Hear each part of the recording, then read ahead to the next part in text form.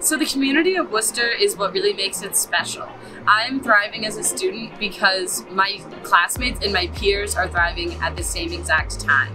I love to listen to them talk about what they've learned and the passion that they have behind it, and that's what really makes the Wooster community special. Here at Wooster, it's a very small and engaging community, and I like how there's unlimited resources provided for every student here. It's super tight knit.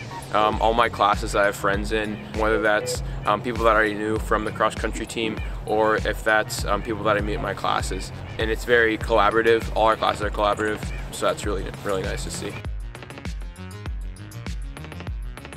That is a really good question. There are so many now Wooster traditions that I have been so excited to participate in um, throughout my time here at Wooster. I think among them, my favorite one would probably be filling the arch. So students decided that it would be really cool and funny to fill the arch so that they wouldn't have classes the next day.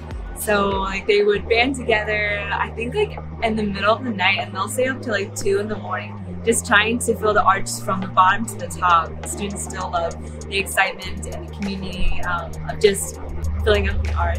So I'm in a volunteer group with uh, the people that I live with. That's really cool. And then, yeah, being on the cross country team is, is nice because you get a community in itself.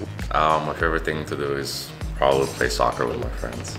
I'm part of the Ultimate Frisbee team and I love going to practice and I just love being able to hang out with my friends and have a little competitive vibe. I'm not a varsity student so to be able to join a club sport where you're able to compete with other schools and build that community has been really phenomenal. So one thing that I really loved during my time here was studying abroad. I really missed the campus and the environment whenever I was abroad, but I was really appreciative for the opportunity to be able to go and learn about myself in a new environment. Wooster Study Abroad offers an immense amount of programs, and if there's not a program that you find that we already offer that really piques your interest, you can work with the Global Engagement Office and you can find a program that fits your needs, and Wooster will let you do that as well. It was an amazing experience, and I'm really excited that the research that I started while I was abroad is actually going to become my senior independent study as well.